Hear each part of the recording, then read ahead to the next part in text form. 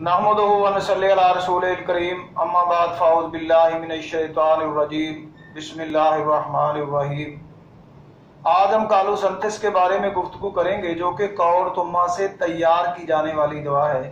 تو ناظرین و شامین، ایسی تکالیف جو کہ موسم بدلنے کے وقفہ میں آیا کرتی ہیں، ان کے لیے کالو سنتس عمدہ دوا ہوا کرتی ہے۔ بالخصوص جبکہ ہوا سرد ہو لیکن ابھی اتنی گرمی ہو، جو کہ خون کو گرم کرنے کے لیے کافی ہو۔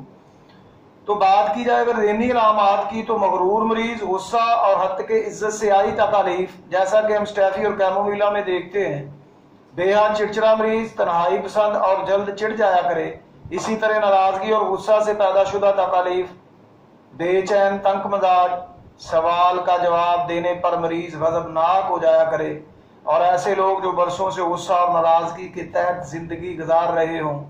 یا پھر وہ لوگ ناظرین و شامین جو ٹھونس ٹھونس کر کھانے کے عادی ہوں۔ اسی طرح عزیز ساتھیوں دوستو، بات کی جائے دردوں کی، تو ہر قسم کے درد کو سخت قسم کے دباؤ، گرم ٹکور سے اور دوہرا ہونے سے سکون ملا کرتا ہے۔ کالو سنتس اصابی دردوں کی عمدہ دوا ہے، جو کہ عموماً بائیں طرف زیادہ اثر انداز ہوتی ہے۔ اسی طرح چہرے کا اصابی درد خصوصاً بائیں جانب کا اور شدید پیٹ درد، مریض درد کی وجہ سے دورہ ہو جاتا ہے اور ہاتھ کی مدد سے پیٹ یا متاثرہ مقام کو خوب سخت دبا کر رکھتا ہے۔ ناظرین و شامین بوسٹا میڈیسن میں بھی مریض آگے کی طرف جھکنے اور دورہ ہونے سے آرام محسوس کرتا ہے۔ فرق صرف یہ ہے کہ بوسٹا میں کچھ کھانے سے آرام ملا کرتا ہے۔ جبکہ کالو سنت میں کچھ کھانے سے درد مزید بڑھ جایا کرتا ہے۔ اس کے ساتھ ساتھ ہم مگنیشیا فاس میں بھی دباؤ اور گرمی سے سکون ملتا دیکھتے ہیں۔ جبکہ فرق صرف یہ ہے کہ کالو سنتس میں دوہرا ہونا اور آگے کی طرف جھکنا بہت نمایاں پایا جاتا ہے۔ عزیز ساتھیوں دوستو اس طرح کا پیٹ درد عموماً حیضہ اور پیچس میں بطور کالنج کے واقع ہوا کرتا ہے۔ تو ناظرین و شامین یہ بھی یاد رکھیے گا کہ کالو سنتس کے مریض کو ایلومینا کے مریض کی طرح آلو اور نشاستہ دار اشیاء بالکل موافق نہیں آتی اور مریض کو پیاس زیادہ لگا کرتی ہے۔